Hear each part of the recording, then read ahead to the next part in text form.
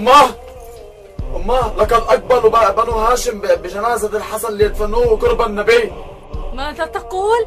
هيا اذهب واخبر مروان وبني أمية ليلحقوا بي حتى نمنع بني هاشم من دفن الحسن بقرب النبي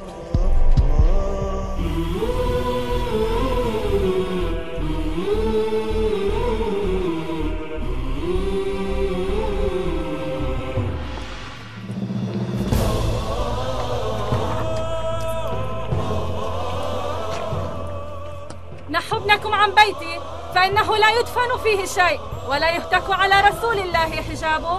قديما هتكت أنت وأبوك حجاب رسول الله وأدخلت على بيته من لا يحب رسول الله قربه وإن الله سائلك عن ذلك يا عائشة. إن أخي الحسن أمرني أن أقربه دار أبيه رسول الله صلى الله عليه وآله وسلم ليحدث به عهدا. واعلمي أن أخي الحسن أعلم الناس بالله ورسوله وأعلم بتأويل كتابه من أن يهتك على رسول الله سترة. وقد قال الله في كتابه الكريم بسم الله الرحمن الرحيم. يا أيها الذين آمنوا لا تدخلوا بيوت النبي إلا أن يؤذن لكم. ولقد أدخلت أنت وأبوك الرجال على بيت رسول الله بغير إذنه. وقد قال الله تبارك وتعالى بسم الله الرحمن الرحيم.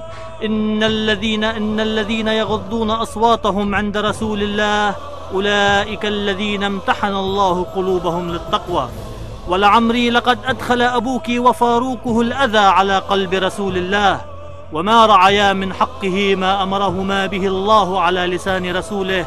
أن الله حرم على المؤمنين أمواتا ما حرم منهم أحياء. وتالله يا عائشة لو علمت أن هذا الذي كرهتيه من دفن أخي الحسن قرب أبيه رسول الله صلى الله عليه وآله وسلم جائزا فيما بيننا وبين الله لعلمت أنه سيدفن وإن كان رغم معتصك يا عائشة يوم على بغل ويوم على جمل فوالله فوالله لا تملكين نفسك ولا تملكين الأرض عداوة لبني هاشم. يا ابن الحنفية هؤلاء الفواطم يتكلمون. فما كلامه؟ وأنا تبعدين محمدا عن الفواطم. فوالله لقد ولدته ثلاث فواطم.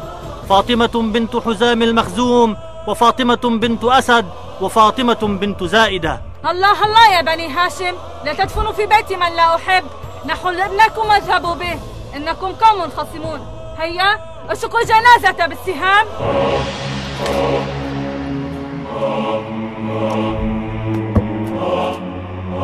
يا بني هاشم يا بني هاشم. الله الله في وصية أخي الحسن. فلا تضيعوها.